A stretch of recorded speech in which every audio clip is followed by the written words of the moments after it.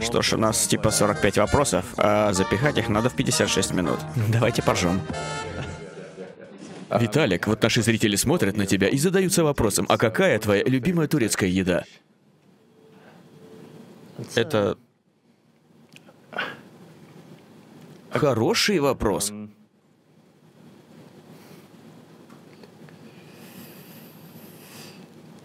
И если честно, то чай.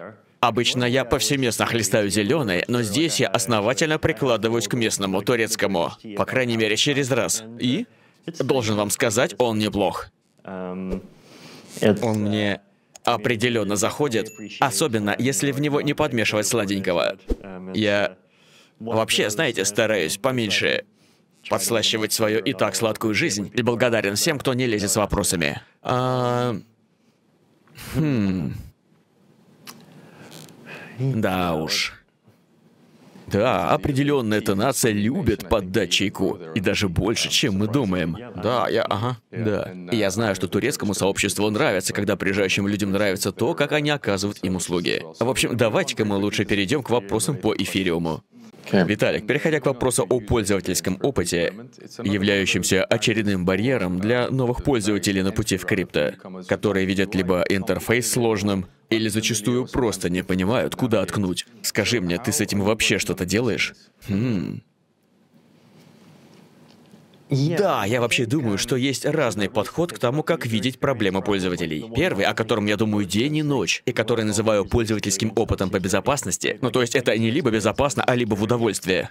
А повышение удовольствия довольно безопасным способом. Но вы знаете, чтобы юзер через год не проснулся, а у него портфель на полшестого. В общем, это...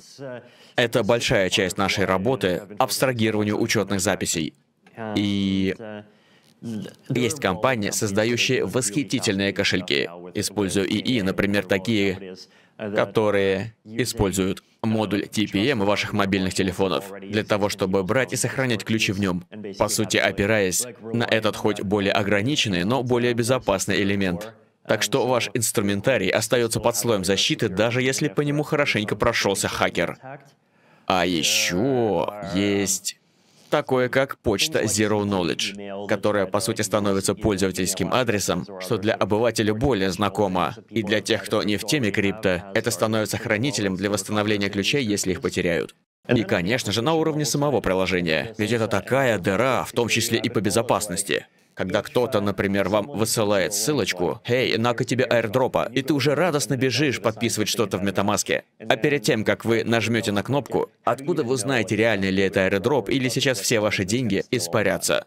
И для большинства пользователей все это очень сложно. Так что я думаю, такая возможность является большой возможностью для кошельков.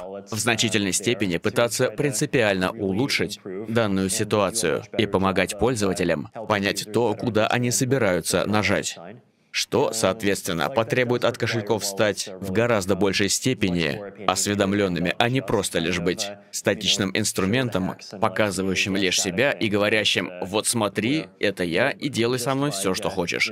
После чего будет что будет, а весь возможный последующий геморрой будете расхлебывать сами. И такой подход, скорее всего, потребует дополнительные ресурсы. Появятся выделенные команды, которые будут работать с кошельками в направлении улучшения и качество безопасности. На мой взгляд, это супер важный момент, над которым кошелькам придется работать.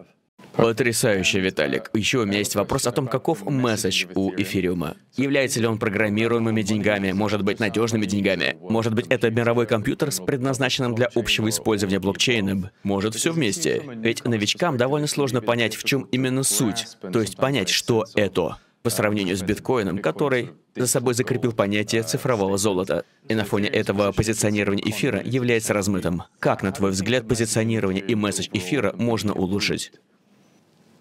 Хм. Я сейчас расскажу очень длинную историю о том, что Эфириум — это платформа, которая позволяет распространяться плюрализму, свободам и самым разнообразным направлениям, которые вы только можете себе представить. А главное — отсутствие в такой высокой степени истории о доминации. Но если взять выжимку из всего того, что я скажу в последующие 7 минут, то суть будет примерно такова. Эфириум — это прежде всего то, чем не является биткоин. Да, у биткоина есть сеть Lightning, у которой сейчас реальной конкуренции нет. Зато у Эфириума есть множество проектов, которые сейчас активно развиваются, такие как Optimism, детерминизм, zero knowledge, офчейн данные, валидиум, плазма. Да, у нас есть проблема фрагментации, но это плата за свободой, которой выбирают данные проекты, и мы не можем им навязать определенные стандарты, которым они должны соответствовать жестко и незыблемо. Это одни из вопросов нашей повестки, которыми занимаются в том числе и наши разработчики. Ведь в процессе эволюции, в том числе и эфириума, стандартизация неизбежна. Как и во что это выльется в дальнейшем, сейчас я сказать не могу. Но история развития эфириума показывает, что даже самые сложные проекты, такие как переход на консенсус алгоритм Proof of Stake, осуществляются с должным подходом и необходимым вниманием. Так что да, в целом, я думаю, по-прежнему я придерживаюсь такой позиции. Мы находимся в состоянии, пока еще довольно рано требовать какой-то одной общей истории для всего этого, поэтому корректным ответом на ваш вопрос будет то, что у эфириума остается довольно много пространства для всего этого одновременно, то и делает его интересным.